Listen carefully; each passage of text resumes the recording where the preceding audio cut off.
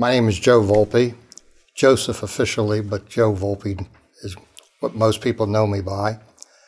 And uh, I started, I guess, in 1958 um, at RCA Moorestown Division, Radar Division, and uh, came as a B engineer, as a matter of fact. Moved over from Minneapolis Honeywell Brown Instrument Division. And that was the beginning of a, a long and interesting career, very varied, I might add, too. Most of which, if not not most, all of which took place in South Jersey, except for, if you want to call Princeton, South Jersey. That was the end of my career. Mm-hmm. Um, could you just run through um, what was the first project you worked on and uh, what was it like coming to RCA? Well, for me, it was uh, quite a change. I had uh, spent all my career, such as it was, limited at that time, uh, from uh, a commercial environment, and I moved into uh, the Moorestown uh, environment, which was all government sourcing, government uh, specifications, and government contracts. So that, and it was a very large environment. The, the group I worked with prior was like a five-person group in, inside of a, a large research environment, which was 100 people got to Moorestown and we were talking in the thousands of people. I came in at the end of the BMEWS program, and uh, but I think the probably the main reason they hired me was that they were embarked on a uh, program that used a lot of analog equipment, recording equipment, similar to what I had been experiencing, had the experience before at Honeywell. So uh, the first program was on the DAMP research ship, as a matter of fact and uh, we were equipping it to uh, so it could uh, work downstream of the missile firings that took off from Cape Canaveral at that time. And that was the beginning. And as a matter of fact, uh, it was interesting because since it was a radar division, the only thing I knew about radar when I joined RCA is that you could spell radar forwards and backwards the same way. And that was, so I had plenty to learn over the next years. Is there any particular event or um, recollection that you have of that first time as far as um, uh, some instance? Well, as I mentioned, and we were talking informally before, when I first came to RCA, or prior to when I first came to RCA, um, I, I, was notified that I was hired, and then I noticed in the papers that uh, the engineers were on strike since I was an engineer, I was wondering what I was going to do when I got there. And I was informed by my supervisor to come in, get indoctrinated, get your physical, then you can go out on strike if you want to. Uh, but uh, other than that, and the other thing was, for the first six months, I remember I had to count on somebody going on vacation so I could get a desk. That's how overcrowded we were. Uh, it was a boom time, as you can imagine. Uh, but it was it was very interesting. It was funny because being from the outside, from a totally different environment, it was very easy to get together and, and meet friends and, and, meet engineers. It, it was an extremely friendly environment. That's the best I can describe. And uh, from that day on, I found out that that was probably a hallmark of working with RCA. It was a friendly environment. Okay. Did you have any mentors or anything when you first showed up? Oh, that's interesting. I have to think back now. You're really going back to ancient history. Um, it, it, turned out that uh, one of the fellows who was my uh, supervisor at the time, uh, Dwayne Gunn, turned out to be a, a very good uh, friend throughout my career and afterwards, uh, so much so that I still continue uh, playing bridge with him. But um, I'm trying to think of some other guys. They were mostly engineers, I guess, that I, I and administrators, a couple of administrators that were very, uh, and technicians. That's now that I'm starting to think, the technician was was your right arm uh, to an engineer, particularly one an engineer like myself who didn't know anything about radar, and uh, we had some very very good engineers, uh, technicians that I got associated with, and um, later as I starting to think now and recollect I remember one particular engineer who we became friends to this day. As a matter of fact, I think he's still working there. Uh, Dick Cooper. His wife runs the Bridge Club, so that's turned out to be an, an interesting coincidence. You mentioned the technicians. Is there anything that stands out in your mind, any story of where a technician was particularly useful to you? Well, yes. Um, one of the things that one of my first pro- design projects was uh, working on integrated circuits, or at that time they were transistor circuits. And uh, there was um, one particular technician who had some reasonable experience in that, as contrasted to myself, who had no experience in transistors at that time, except for one little circuit that I worked on in Honeywell. And he was a, a godsend. Matter of fact, he dug up a uh, an in-house transistor course that one of the double A engineers used to put on for the uh, other engineers to get them indoctrinated into this new field of transistor electronics. And um, took got a hold a copy of that and worked the whole weekend and came in Monday as transistor expert. Then that was the only thing I can think of. I can't think of his name. That's the unfortunate part about it. You uh, you had a very impressive career at RCA. Could you just lead us through your the progression of your career and uh, the projects and and your responsibilities as they move through?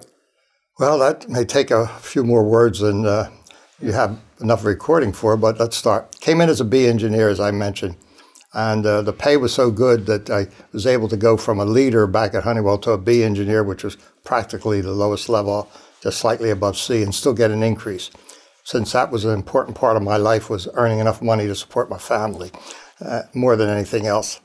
So from uh, and that was in design and as I mentioned, design engineering. Worked on the DAMP program, came back, and then sort of had a ho hum uh, assignment working on BMEWS conversion.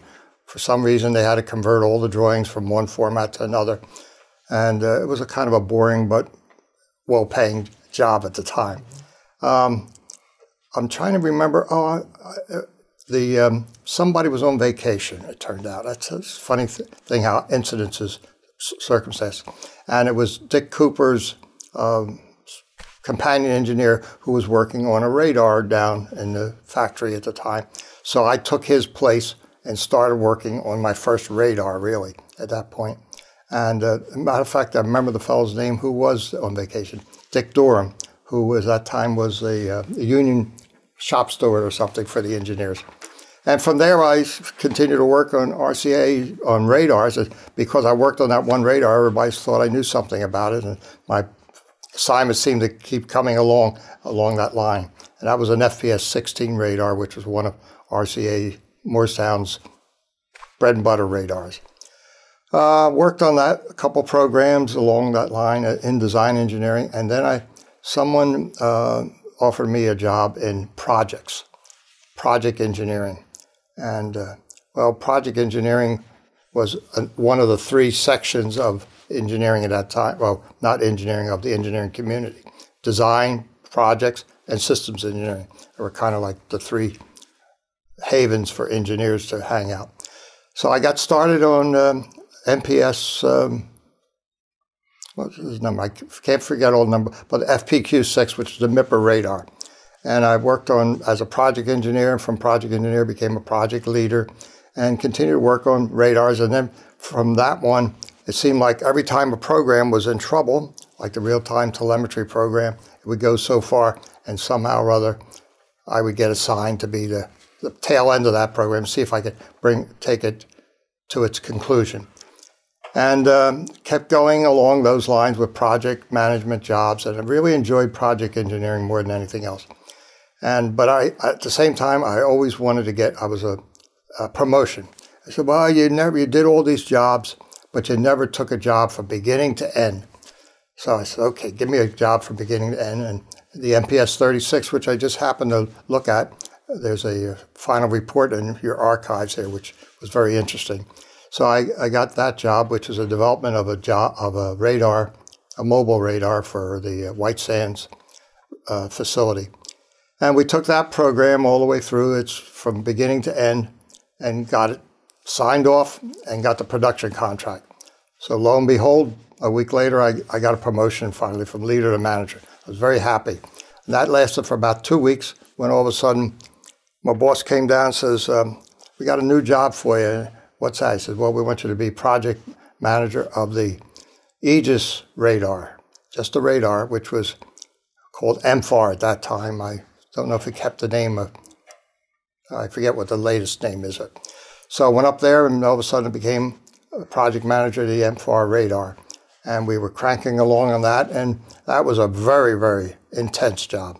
Um, I mean, it, we, we were involved in everything that you can imagine uh, associated with a, a uh, phased array radar.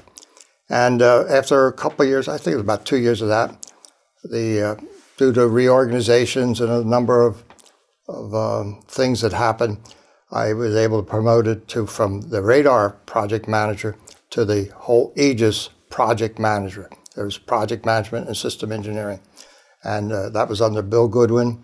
And my companion was uh, Larry Shipper, who had the systems engineer, and I had that. That was probably the most exciting part of my uh, radar experience because I had to get into things like that we were just sort of infancy then called software. And we had a computer program that was the largest real time programming that I knew of at that time that was being developed as part of the Aegis program. Well, we cranked along on that, and uh, spent my most of my waking hours at, at Moorestown doing that until we finally finished uh, the development phase of the program, and we were about to go into the uh, production phase. And uh, I was kind of getting bored, if you will, of that since that challenge was over. And the then project, uh, not project, but chief um, general manager of Moorestown uh, Max Lehrer said, uh, "Sit tight. I got it. I think I may have another job for you." And lo and behold, two weeks later, he came and offered me a job as chief engineer. And I said, "You got to be kidding! That was about the most improbable job in the world for me, especially since the chief engineer I was replacing was Dudley Kotler, and Dudley probably forgot more technology than I knew. And I said, I can't possibly take his place. Do you remember but, what year that was? Oh, well, let's see, 77. It was in around the 75, okay. that, that, around that time, 1975, because I think Aegis started actually in the late 69 and 70s, so it was about five years. Um, my, my years may be off because I started get a little jumbled, but so I went in as chief engineer and uh, found got my comfort zone up pretty fast and found out I wasn't going to be another Dudley Kotler. I was going to be a Joe Volpe. So uh, I did my thing there, and uh, that was a fun type thing with a lot of engineers of all sizes and shapes, and and uh, they, a lot of people I knew and uh, respected as well. And that's when I came over into the commercial business of RCA, which was the broadcast division. At first, part as the uh, uh, vice president of the antenna transmitter part of it, and then within about a year or two, again, another reorganization took over the whole broadcast division as a vice president general manager. And uh, cranked along very nicely for a, a couple of years. We were struggling, but uh, we were sort of in the twilight of the broadcast division. Many of the highlights, uh, interesting things that happened in the beginning of broadcast happened before my time, but again, it was a challenge to try to keep this division going in. And uh, then I got a phone call one morning. It says, "Hey, we uh, sold Hertz, and we got a lot of money to put aside as a uh, what they call those reserve accounts. So we want you to close the division down." So we proceeded and closed the division down, and uh, moved on. Uh, and I moved on into a, what I used to call a, sort of a waiting spot. Was on staff uh, as a staff vice president while they tried to find a job that I was interested in. And uh, if I'm going too far, just tell me. So that was a notable year or so that I spent on staff because at the end of that, towards the end of that year, uh, there was a company called GE that proceeded and suddenly purchased, unbelievably, RCA.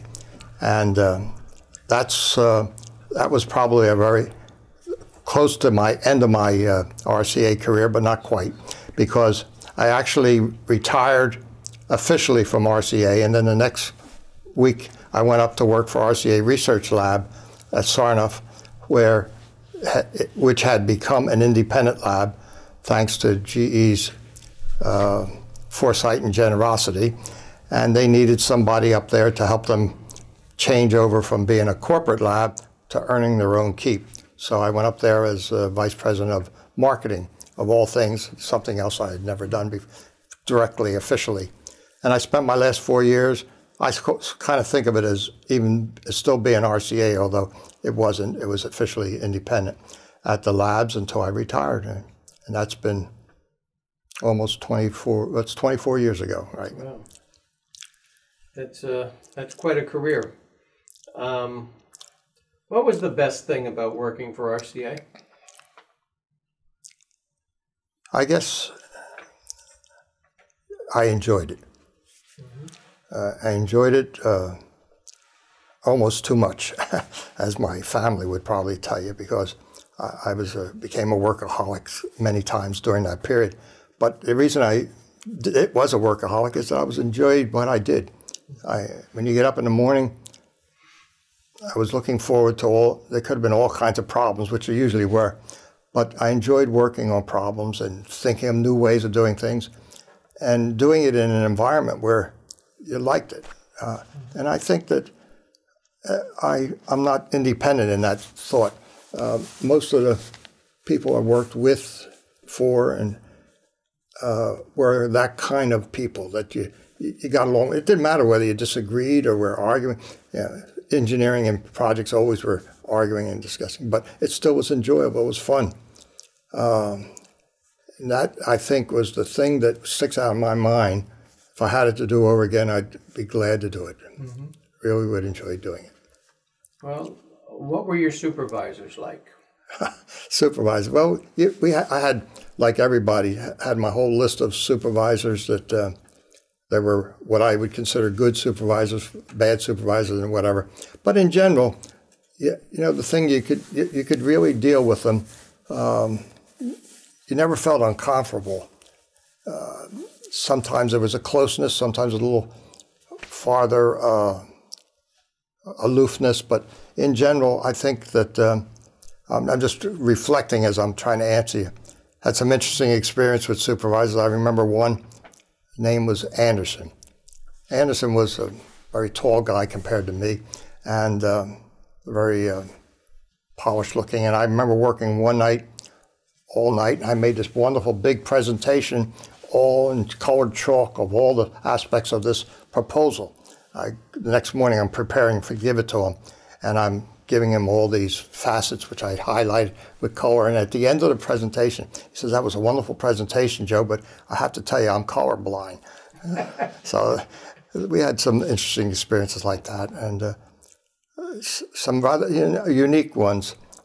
Take a guy like Max Lehrer, uh, who didn't have any technical, well, any formal technical background. His, he was what we used to call a number cruncher in those days but and he became general manager, and yet, and he's running a highly technical organization, the radar organization, and yet as a leader and a manager, it was unbelievable how you could re, he could relate to what you were saying and and direct it and provide guidance, things like that that were good.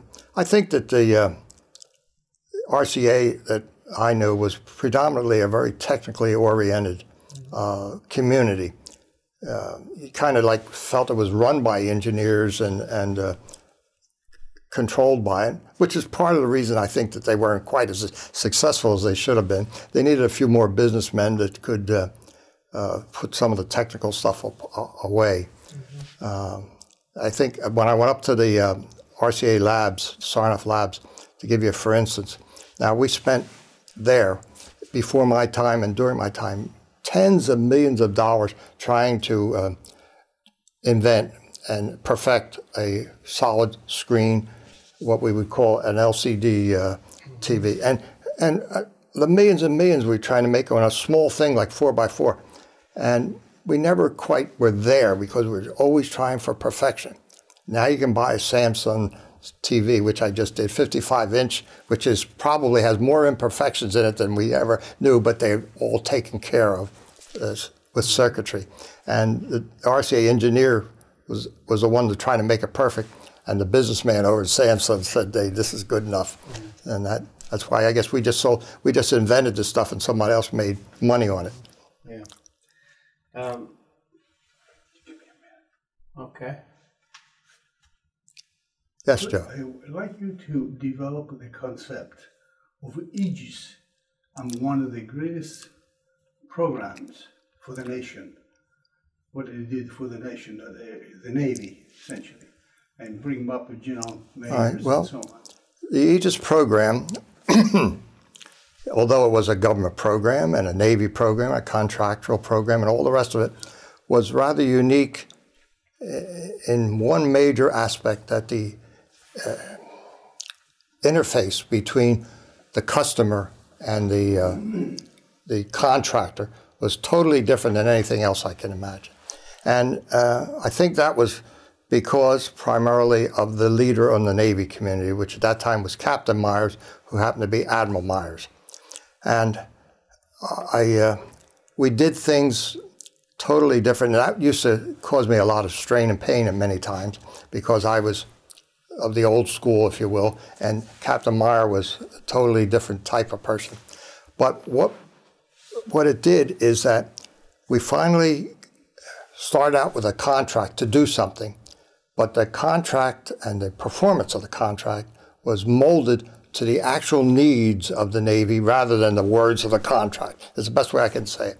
It was important that every phase of what we did was uh, practical to the Navy ensign, uh, officer, whoever was going to be running it, fixing it, and repairing it.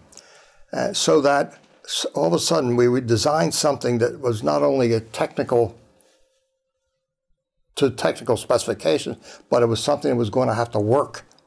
And it proved out to be the, the truth. I fought it many times because I'm trying to live to the letter of the law, as the saying goes, and, and yet the important thing was to make it so that it could be used.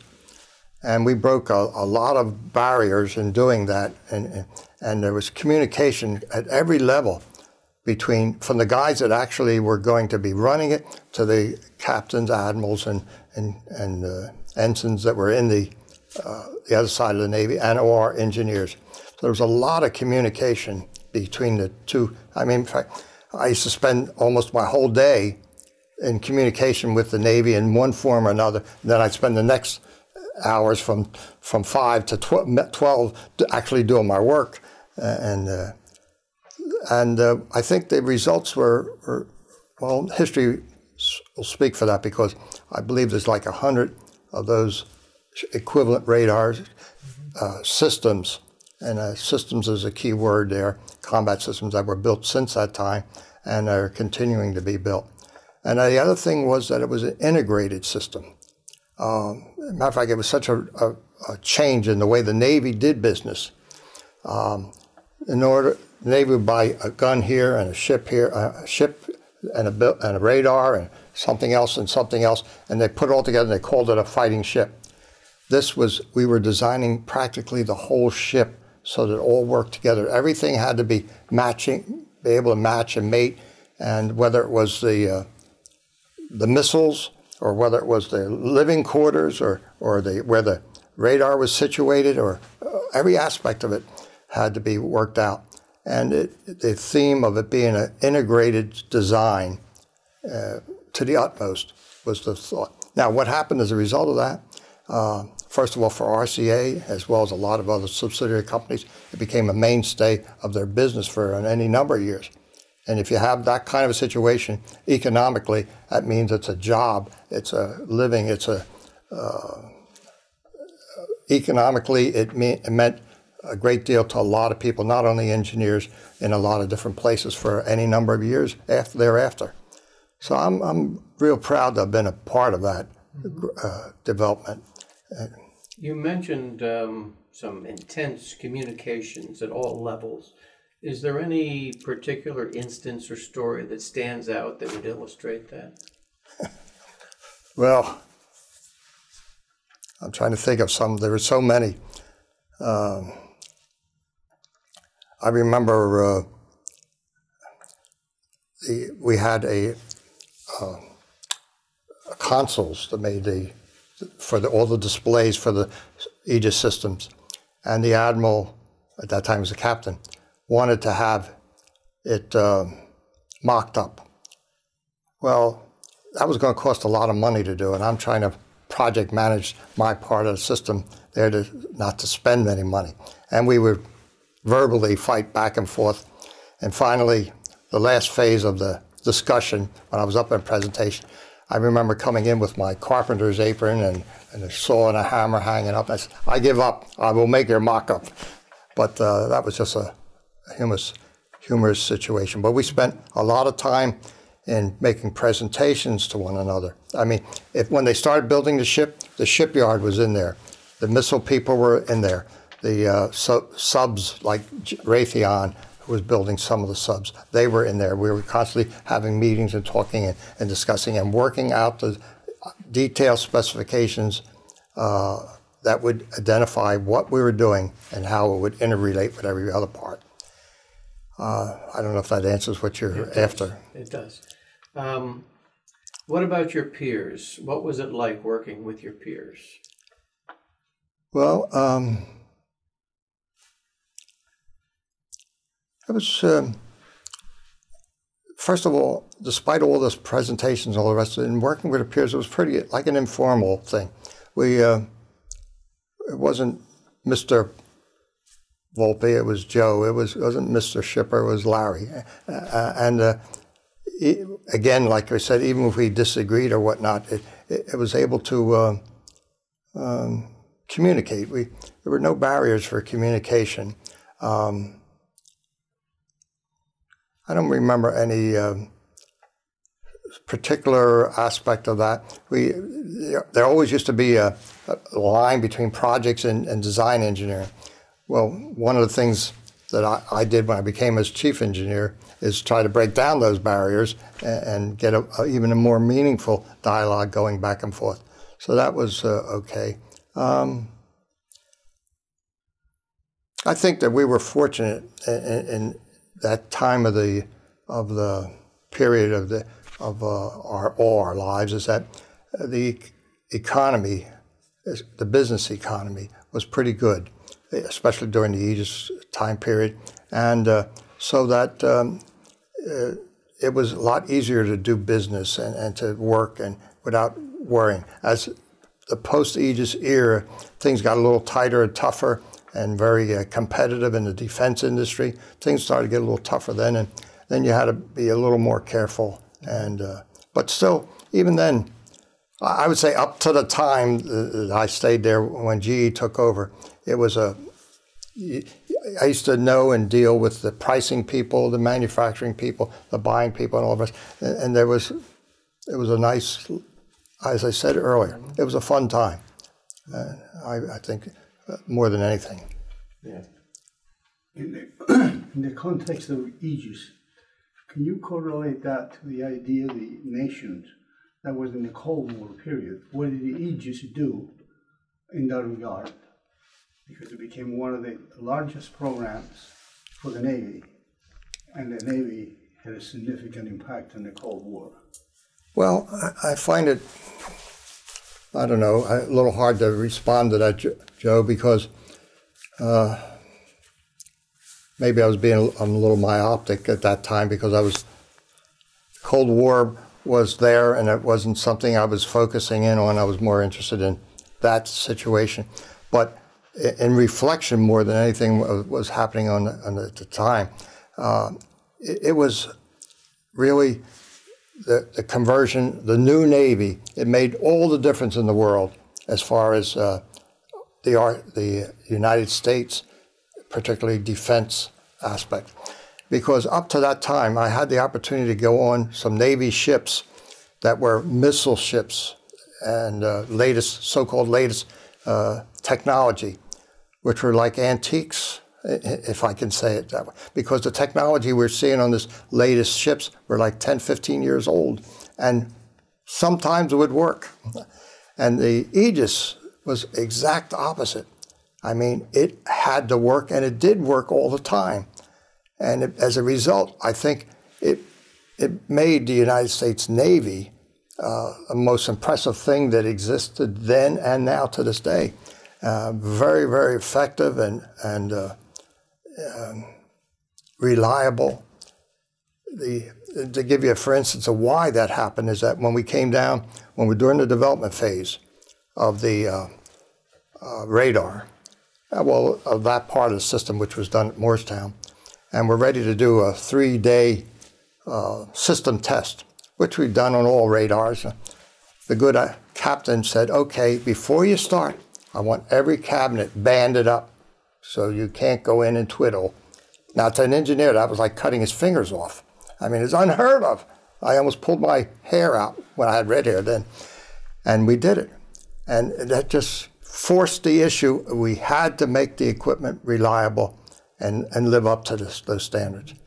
I, I think as a result of that, thinking a little broader in the worldwide aspect, it, we gained respect as a nation, as a military power as well, because of this mobility of the Navy and this extremely accurate and and uh, uh, important piece of equipment, which had a lot of firepower on it, mm-hmm. uh, that uh, it probably had a great influence on the actual uh, worldwide uh, appearance that the United States had at that time.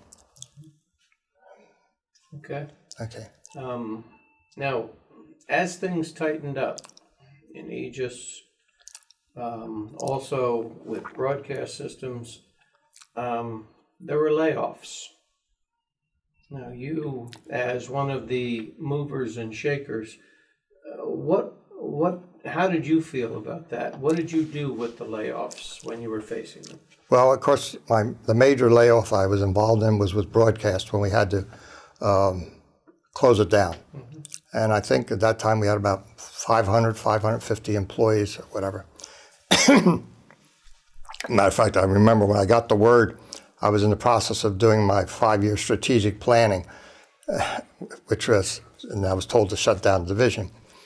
Well, I, that was probably one of the more memorable uh, days of uh, my career because uh, had to pass the word along to all the employees. And we had most of the employees right, uh, well, not too far from here, at the Paintworks in Gibbsboro at that time, where the broadcast division was stationed. So we gathered everybody there, probably had uh, maybe 400 of the 500 and some odd people were available from the factory, from the engineering department. And uh, th- this is what happened. I announced what we had to do. We had to close down the plant, etc., and tell them all the everything we were going to try to do to get people placed and all the rest of it. And at the end of the uh, my speech or presentation, I got a an outstanding bunch of clapping and cheers. I mean, and to me, that was uh, a very uh, memorable period because basically they all said, "Well, we know you're you're you're going to do what you can, and you've done everything you can to protect our jobs and all the rest of it."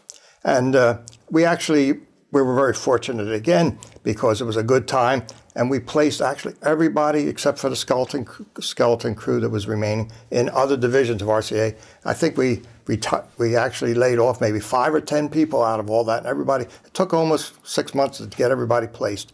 We got everybody placed, and and that was really a wonderful aspect of life. I hadn't didn't have any opportunities to go through many other layoffs during my rest of my career, except for that one major one. But we um, have heard from several people that we've interviewed uh, a term, the RCA family. what does that mean to you? Well, it, it, means what I said. It was fun to work there, uh, and you did you did feel as though you belonged. Um, where are you from? I'm from RCA. I mean, that was it. And uh, as you'll find out, RCA I'm just thinking my little piece of it, but RCA as a larger community, particularly in the Camden, South Jersey area, uh, I've met so many people who have had some member of their of their family working for RCA from back in the 20s, 30s, and 50s, 60s, and uh, so that it has meant a, has had a presence in this area, South Jersey area, for years and years, and uh, but my own experience and the reason why I think of it as a family is that there were a lot of personal relations. Yeah.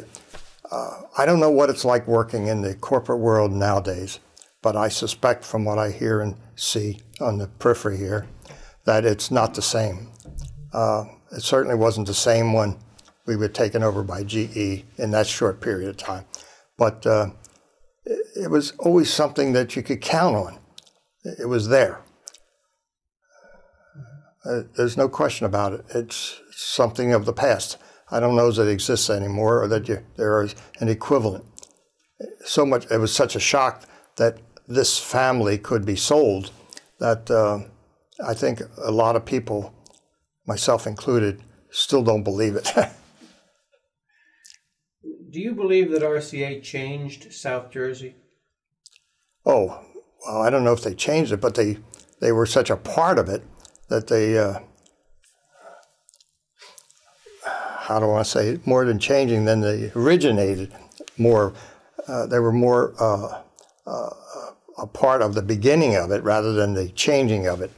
Uh, and uh, if you think about it, how many different places there were in Jersey, uh, particularly South Jersey, that you could still work at RCA and still be there.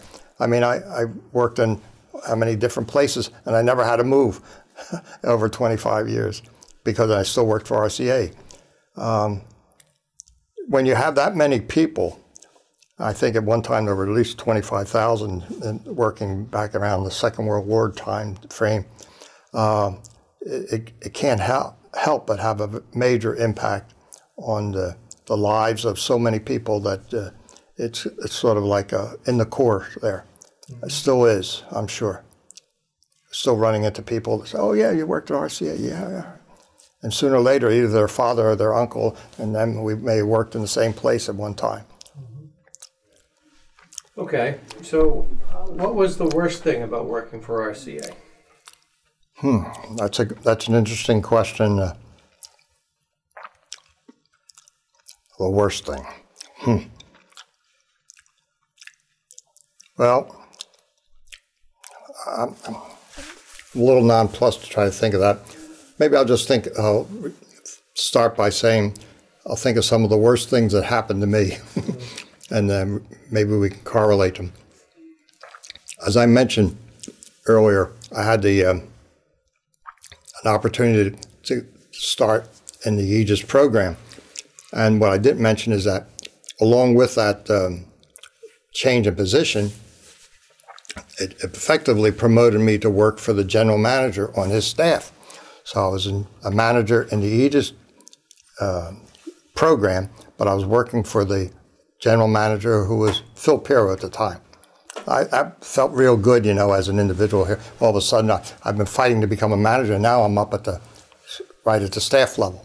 So I worked that for about a year or so, and all of a sudden, I get a, a, a call, or actually, I was told there was a reorganization in which they shuffled Aegis and, and the, the other part of Moorestown did it together. And instead of working for the general manager, now all of a sudden I was working about three levels below. Same job, everything the same, you know, same pay and all the rest. But still, you're, you're, son, you feel as though you've been demoted. So I was feeling pretty blue, and I get a call from Irv Kessler at that time, who was the vice president, whatever, in charge of all the uh, divisions of RCA at that time, of the uh, government divisions. And he wanted to console me and said, "Oh, Joe, I, I know this. You feel bad about the change in the reorganization." He says, "But look," he says, "I had my problems too. They just had a vote. I was hoping I was going to become on the board of RCA, and they didn't vote me in." I said, "Oh, I feel so bad for you, you know." but uh, that was not too bad. But that was one of my low points of my career that uh, bothered me. But it, it worked its way out. Uh, what's the worst thing about working for RCA? Hmm. I, am really hard pressed to to think about the the bad parts of it. Uh, um, there are so many good uh, things that you can that I can relate, especially if I'm trying to convey the, the a message of what it was like there. That um, I, I don't really know how to answer you otherwise. And your coworkers, did you spend any time outside of work with them? Socialization. I'm not a big socializer, as my wife could tell you, but um, best answer is that probably not. Not, not as I remember. And there's a very good reason for that because I spent all my free time at RCA. Oh, right. I mean, um, I remember being told that I had only spent had seven meals and seven months at home during one period of the Aegis program. So, um, I guess the only times I remember being outside was in, in groups, which would be like Christmas parties. I I used to enjoy the Christmas parties, particularly, and uh, the thing I used to like about the Christmas parties, particularly when I, like when I became chief engineer, is that I would always sit not with the other managers, but with the other engineers because that was my way, my the way I enjoyed it. I felt comfortable with them. I knew as many cleaners and janitors as I knew vice presidents. You mentioned before uh, playing bridge. yeah. Was that with any coworkers? Well, uh, yes. Now that you mention it, I forgot. That's how I learned to play bridge was at RCA, at lunch. Lunchtime was a time when everybody would do something, play pinochle, play bridge, or whatever they did, or go outside and do walk. But uh, my thing was playing bridge. As a matter of fact, we had a bridge group going for three or four years, and we kept a constant score going, and that was a, a good pastime. Uh, had a lot of things like that. Um, so, how would you sum up your career at RCA? Just a job, or what? it was a, a life. It was a it was a big slice of my life. Now you have family life, and you have other things. Maybe have you're very strong into hobbies or whatever. I wasn't at that time. it was a big part of my life. I spent more time in work than I did in any other thing of, during my uh, days or years that I spent at that time. Um, it was a it was a good life too. Uh, it was a, a, a time that I would not want to trade for anything I can think of. Um, and it was varied enough and interesting enough that it kept me well mentally uh, occupied. It was a, a good time of life, and uh, I'm very glad to have had the opportunity to have lived that. That's about the best way I can say it. Well, this has been a really good time. Um, are there any other stories, instances, or anything that uh, popped into your head as we were talking before we finished? I don't think you have enough uh, video storage to get all that in there. Yeah, we- The Emmys, yes, that was. Uh,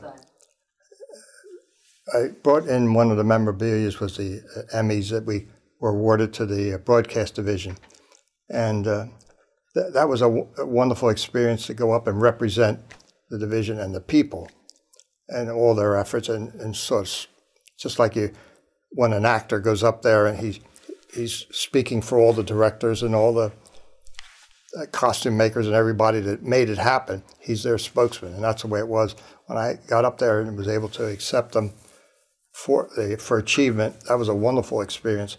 And the last, the very last one was when I was up there and was able. I had the opportunity to say effectively goodbye to the industry when we closed uh, broadcast. It was a wonderful feeling, a, a very emotional uh, uh, period. But again, it was with all these people. These these happened to be mostly non-RCA people from the whole broadcast community, and you really felt good to be a part of that. And that was a very good time.